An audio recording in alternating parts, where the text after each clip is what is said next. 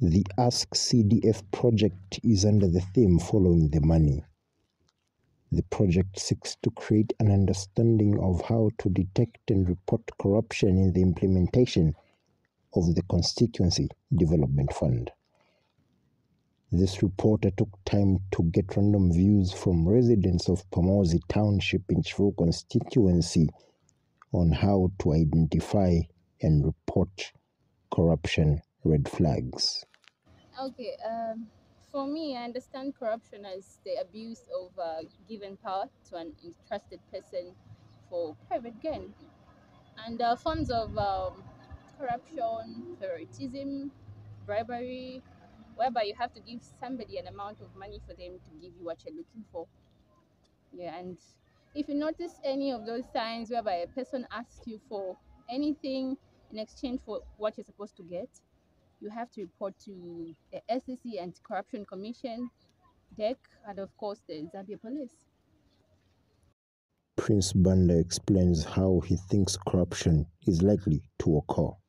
corruption. Corruption uh, that's a process whereby you want something to be done on your favor, then you use an alternative or you use your own rubber. You want to be helped, but you don't want to use it correctly. John Mobanga is pessimistic that the fight against corruption cannot be won.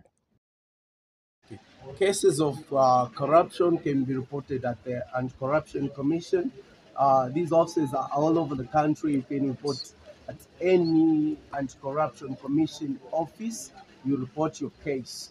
But uh, like in our country, you can report a case, but uh, believe me, those cases they just end by the front desk. They don't even reach the, the senior people. You know what I'm saying? Yeah.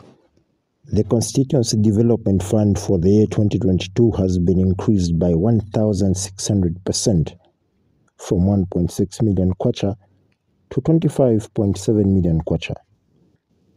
And cases of nepotism, favoritism, bribery, amongst others, are not expected to take the toll in the awarding of skills development, scholarships and bursaries, cooperative grants and loans, as well as awarding of tenders with regards to the making of desks, building of classrooms, and rehabilitation as well as construction of roads.